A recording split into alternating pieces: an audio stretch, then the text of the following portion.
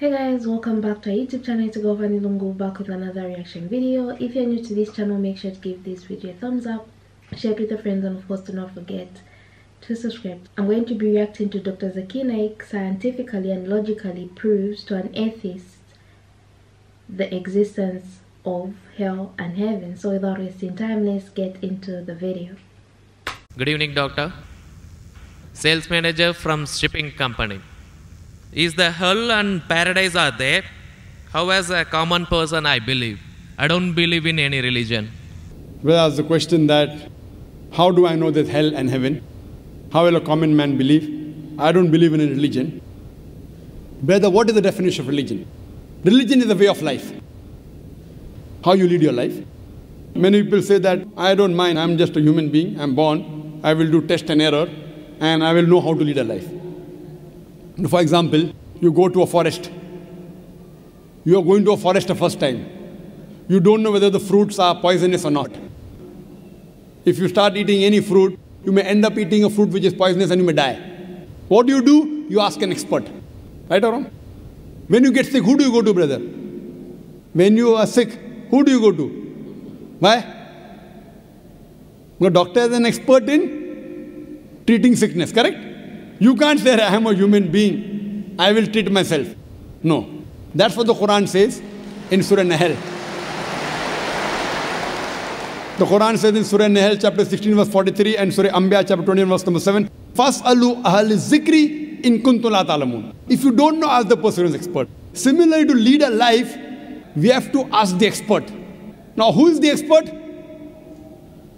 Who is the expert? The person who created us. Who created us? It's Almighty God.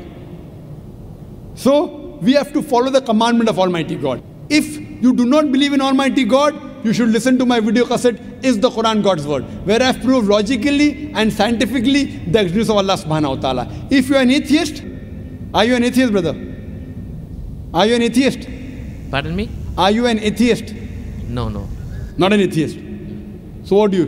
Do you believe in God? Actually, I believe in the power. But Fine. That means you believe in God. You I want to call it power, you want to call it supernatural, you believe in God. it's like I believe something. Something. You don't know the name. That name is God.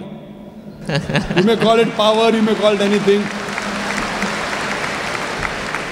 If you don't believe in God, then you listen to my video cassette, is the Quran God's word. If you don't know who that power is, yet you listen to my cassette, is the Quran God's word, where I've proven scientifically, undoubtedly, existence of Allah subhanahu wa ta'ala, and the Quran is the word of Almighty God.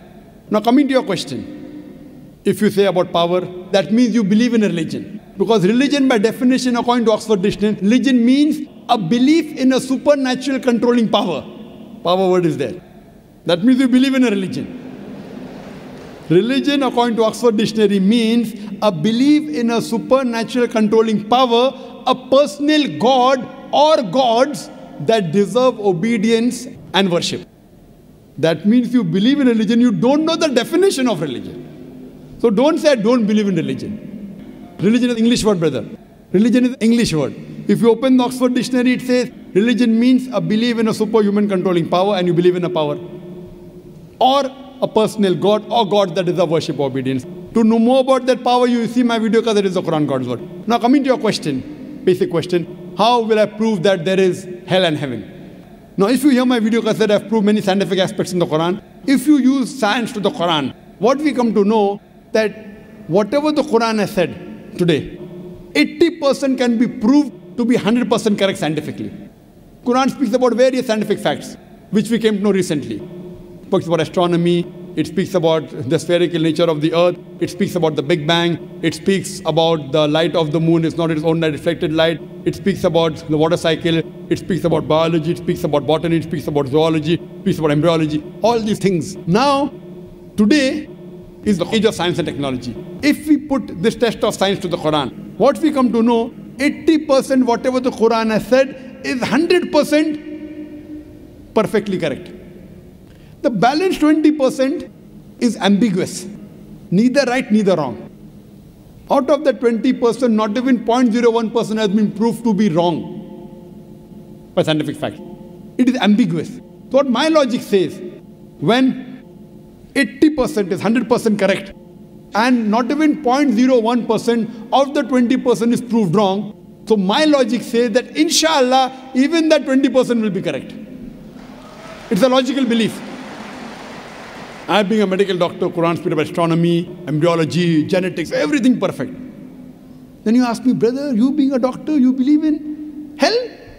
You believe in heaven? You believe in jinn? You believe in life after death? So my logic says, inshallah, even the other 20% in the Quran, which science hasn't reached up to that level. Science cannot prove it. Maybe science will prove 50 years later or 10 years later. But today science hasn't reached that level. So in this way, I believe whatever 20% which science hasn't proved to be right or wrong, inshallah even that will be right. This is one way to prove about hell and heaven. There's another way, simple way, without reading Quran. Brother, I am asking a simple question. Is robbing good or bad? Robbing is good or bad? Robbing is bad. Bad. Yeah. Raping a girl is good or bad? No, no, no, bad. Bad, bad. Okay, now I am asking you a question. Logically, I suppose happen to be the biggest mafia. Hypothetically. I am a big robber. You prove to me logically and scientifically. I am a very logical person. I am a scientific person. I am a logical person and scientific person. You prove to me why robbing is bad for me, and I will stop robbing. Only one reason you give me, one good reason why robbing is bad for me, and I will stop robbing. It hurts others. It hurts people. It hurts others. What difference does it make to me? If it hurts, if I rob, if I rob a thousand real, it is benefiting me. I can see movie. I can go to a five-star hotel. What difference does it make whether it hurts others? Does it hurt me? I told you, prove to me why it is bad for me, not for others. I am least bothered about the others. Why is it bad for me? When I'm robbing thousand, if it hurts him, no problem. What difference does it make to me? If it hurts somebody else, does it make a difference to me? I can enjoy, I can see movie. I can eat chicken biryani. I asked you, give me one logical reason why it is bad for me, not why it is bad for others. I am a big mafia. I am powerful. I am a scientific person, logical person. Prove to me one good reason, logical, why robbing is bad. I will stop robbing. Come on. Another try, brother. Another try. One more try. Why it is bad? No answer. No answer. Try, try. There are 20, 30 reasons, 100 reasons you can give. You know, actually, as you said, the religion means the way of life. Not religion. Why robbing is bad? Tell me. Don't go to religion. No, no. I'm, I'm coming to the point. No, not point. First tell me why robbing is bad. We'll come back to your point afterwards. I'll come to your point afterwards. When that is the way of life, Not way of life. Tell me why robbing is bad according to you. Why it is bad for me, I will stop robbing. up to me, you know, it hurts others. So, but you know, what difference does it make to me when it hurts others? Does it hurt me? of course, you know, why it is bad for me, not why it is bad for others. Once we come to the society, you know, we have to face, face them. Okay, once we come to society, you have to face them. I'm facing them. I'm facing them. What's wrong? Why it is bad for me? The society won't respect us. What difference does it make whether respect or not? I can eat chicken biryani. I can go and see a movie. I can go to a five-star hotel. What difference does it make to me if society respects or not? Imagine someone respects society. The poor person doesn't have food to eat. He'll be happy? No. You require food to eat or not? You require food to survive? Only society respecting. The person is starving to death. You know, in India, thousands of people are starving to death. What difference does it make? I must give me one good reason why robbing is bad. I stop robbing. Why it is bad for me? Can anyone else help him out? Why robbing is bad? Why robbing is bad?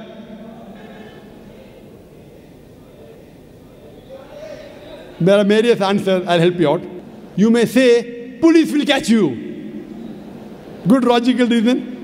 Police will come and catch you. Correct, right or wrong? Correct. Ah, but you didn't give the. I'm helping you out. but brother, I told you I'm a powerful mafia. The police is in my pocket. Ministers are in my pocket. Big mafia. See, all the top mafia, the police is in the pocket. They're on my payroll. The police is on my payroll. What will they catch me? Small robber like you should not rob. You will get arrested. I'm a top mafia. The police is on my payroll. Even the ministers are on my payroll. They are in my pocket. So small robber like you should not rob, big mafia like me can rob. Another reason, I'll help you out. Maybe somebody will come and rob you. Yes. No one can rob me because I've got 100 bodyguards, all of them hiding behind the stage. Bodyguards. Small robber robs, somebody will rob him. No one can rob me because I've got bodyguards.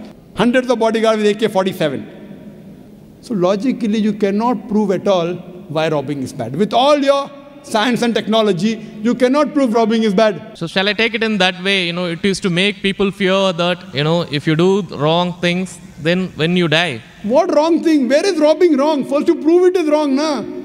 Where is robbing wrong? You haven't proved to me robbing is wrong. When you prove robbing is wrong, then you can say don't do wrong things, na? Therefore, what is good, what is right, you require a creator to tell you. You require a doctor to tell you what food is good, what food is bad. This fruit is poisonous, this is healthy for you. Apple is healthy for you, wild berries are poisonous for you. A doctor tells you. There's no better doctor than Allah subhanahu wa ta'ala. Logically speaking, logically speaking, brother, that mafia has got bodyguards. No one can harm him. And believe me, there are many examples. He dies a very comfortable death. But I am asking a simple question now, brother. Don't you think that there should be justice. Brother? Yes. Justice. Someone should punish him or not? Law is there. But the law cannot punish every human being here. Why? There are many mafias in Italy. There are many underworld people in India. And the law can't do anything to them. The law is in their pocket. But yet, you as a common man, don't you think you should be punished?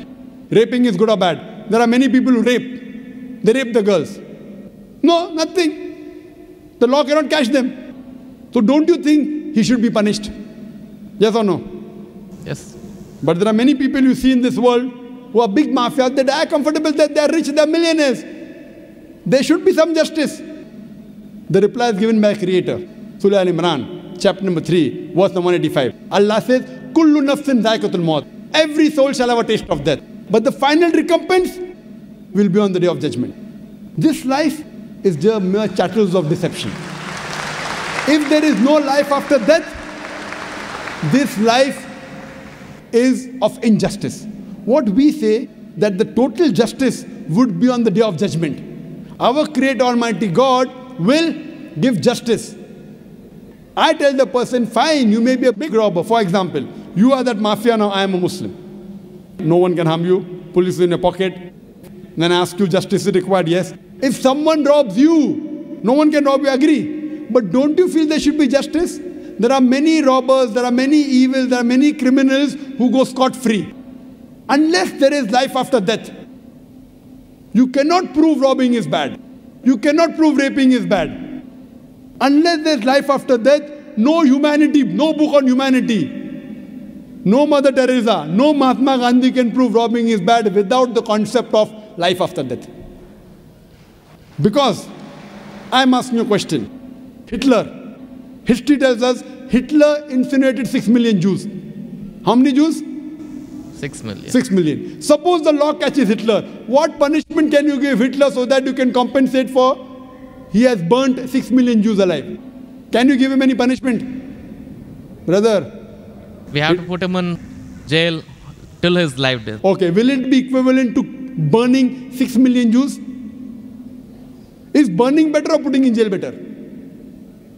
It's burning is, of, Of course. course. So maximum you can do is burn him alive. But that will be equal to 1 out of 6 million. What about the remaining 5 million? 999,999 people. What about that? What justice is your Lord going to do?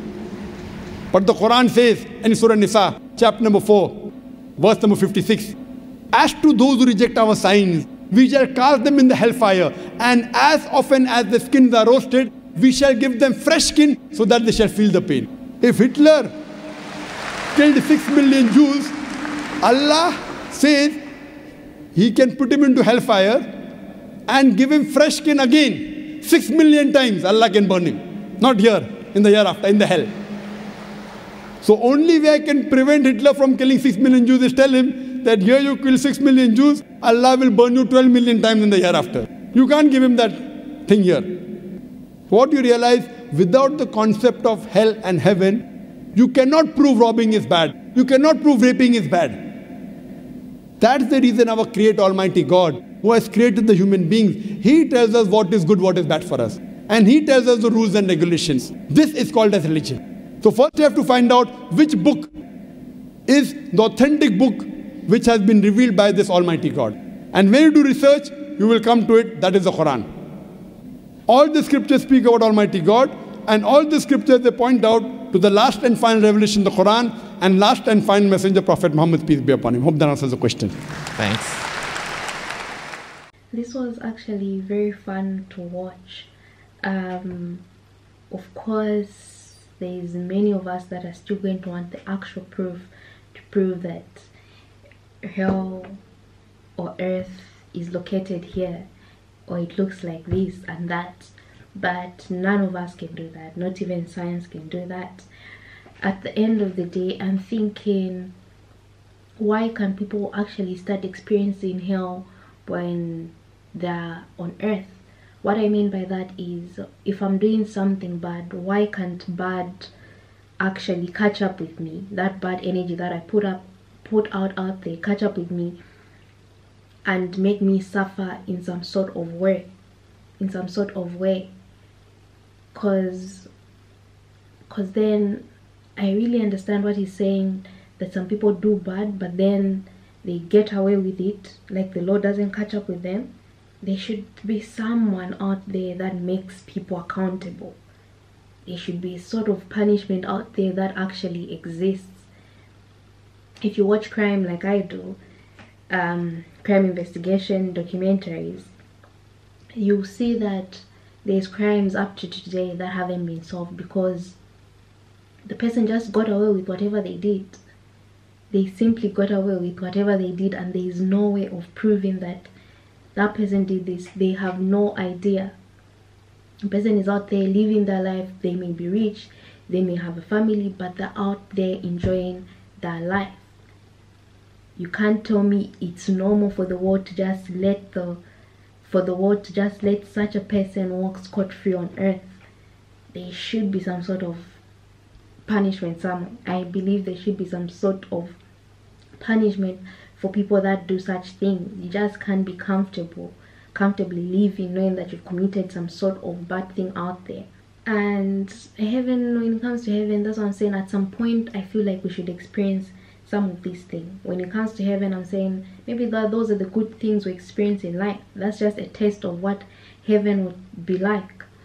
Otherwise let me know what you guys think about this video. And the way dr Zakir Naik explained it. If there's something you want me to react to drop the link or the name down below and i'll be more than glad to react to it. Make sure to give this video a thumbs up share it with your friends and of course don't forget to subscribe and i'll see you in my next reaction video